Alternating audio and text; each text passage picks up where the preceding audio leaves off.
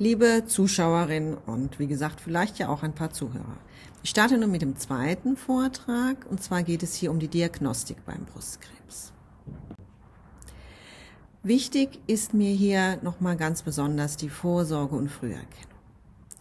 Denn diese beiden haben das Ziel, möglichst früh Veränderungen zu erkennen. Und die Mammographie kann es hier auch schaffen, tatsächlich Vorstufen schon zu erkennen von Brustkrebs. Und das ist das große, der große Vorteil der Mammographie. Ansonsten ist es das Ziel, Tumore so klein wie möglich zu erkennen, weil ganz klar, je kleiner der Tumor, desto besser behandelbar ist er. Zur Vorsorge gehört aber auch, dass Sie tatsächlich an die Selbsttastung denken, am besten nach der Periode, weil dann die Brust am weichesten ist. Und auch nach den Wechseljahren doch ungefähr einmal im Monat nach der Brust fühlen. Zu Ihrer Frauenärztin oder Ihrem Frauenarzt sollten Sie tatsächlich einmal im Jahr gehen. Sowohl für die Brustuntersuchung als auch natürlich auch für die anderen Untersuchungen der Gebärmutter. Es gibt ja seit ein paar Jahren das Mammographie-Screening. Hier werden alle Frauen zwischen 50 bis 69 Jahren automatisch eingeladen, bekommen entsprechende Informationen mit Flyern zugesandt und Termine, um dann hier quasi gut untersucht zu werden per Mammographie. Ansonsten ist die Mammographie, wie gesagt, eine mögliche Untersuchung, die Vorstufen entdecken kann oder auch, wenn Sie oder der Frauenarzt einen verdächtigen Befund haben, hier eine weitere Abklärung machen zu können. Die zweite Untersuchungsmöglichkeit der Brust ist der Ultraschall oder wie wir auch sagen, die Mammasonographie. Das ist ganz hilfreich, wenn wir einen verdächtigen Tastbefund haben oder wenn wir einen auffälligen Mammografiebefund haben, gehört es immer dazu, dass man sich das auch nochmal in dieser Form der Bildgebung anschaut. Gerade bei einer bindegewebsreichen Brust und vor allem junge Frauen haben da eine äh, sehr viel dichtere Brust, kann sich die Mammographie schwer tun. Und hier ist der Ultraschall mitunter sogar aussagekräftiger als die Mammographie. Der Ultraschall kann ganz gut die unterschiedliche Gewebseigenschaften sehen. Das heißt, er kann unterscheiden, ist etwas flüssigkeitsgefüllt, also eine Zyste, ist etwas eher harmlos oder handelt es sich doch um einen festen Gewebsknoten. Wenn es auch mit dem Ultraschall nicht eindeutig möglich ist zu sagen, das ist ein gutartiger Befund, dann kann man sehr gut unter Ultraschallsicht mit einer lokalen Betäubung eine kleine Probe entnehmen mit einer speziellen Nadel und dann noch einmal genau untersuchen und dann ist man auch sicher, was dieser Befund tatsächlich bedeutet. Die dritte Möglichkeit letztendlich der Bildgebung ist das sogenannte Kernspintomographie oder das MRT. Das funktioniert nicht mit Strahlenbelastung, es ist auch so eine Röhre, wie Sie hier gerade sehen, aber das Verfahren funktioniert mit Kontrastmittel und Magnetismus.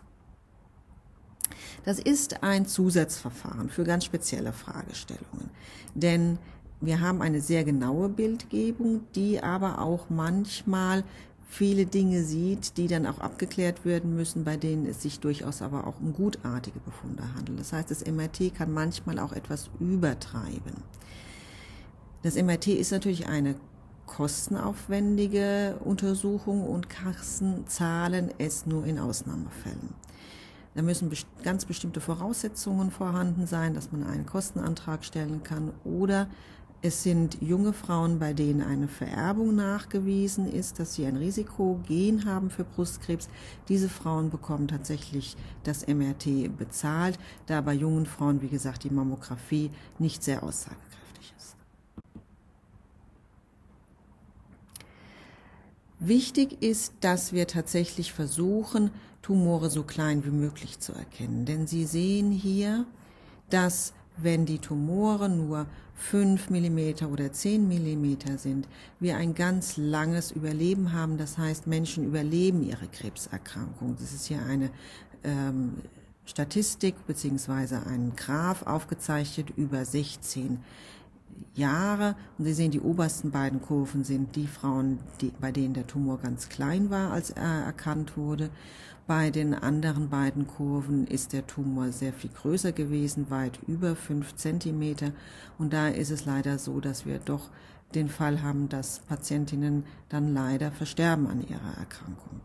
Von daher mein eindeutiger Aufruf, gehen Sie zur Mammographie, auch wenn das sicherlich nicht immer eine ganz angenehme Untersuchung ist. Den einen, bei der einen merkt nichts, beim anderen tut es etwas weh, aber es ist tatsächlich die Untersuchungsmethode, die die größte Möglichkeit der Entdeckung hat.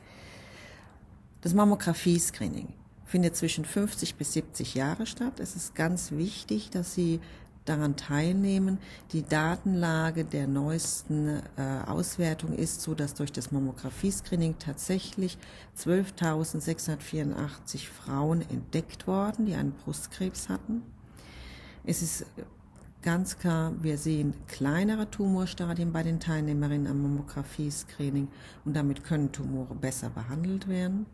Und es ist eine sehr hohe Qualität was die Geräte vorweisen und auch die Befunder, die sich ständig auch weiterbilden müssen und ständig überprüft werden. Dadurch, dass sie alle zwei Jahre eingeladen werden, hat der Radiologe auch die Möglichkeit, dass er sich durch die Verlaufsbeurteilung, also durch die Vorbefunde, wirklich das nochmal sehr gut anschauen kann und dann auch kleinere Befunde entdeckt, die vielleicht sonst, wenn man keinen Vorbefund hat, doch auch dem Radiologen entgehen würden.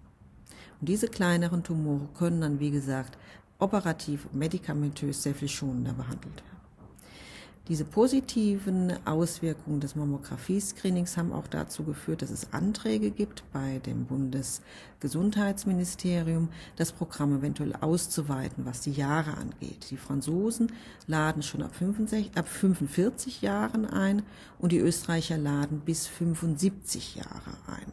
Zumindest letzteres, dass wir das nach hinten verlängern, wird gerade sehr ähm, heiß diskutiert und macht ja auch Sinn, weil, wie gesagt, Brustkrebs ja leider Gottes im Alter zunimmt und nicht mit 70 Jahren aufhört. Von daher mein ganz eindringlicher Appell an Sie, geben Sie auf sich acht oder wie wir das letztes Jahr im Rahmen der, äh, des Mammographie-Screeningstages mit Gib auf dich acht sagten, Gehen Sie zum Mammographie-Screening. Nehmen Sie die Einladungen wahr.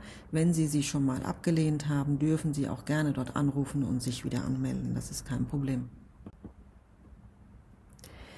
Wenn jetzt ein Brustkrebs leider entdeckt wurde, meistens eben durch eine Standsbiopsie, die per Ultraschall, seltener auch per Mammographie gemacht wird, dann ist es für uns ganz wichtig, dass wir das ganz genau anschauen, bevor wir mit ihnen die Therapie planen.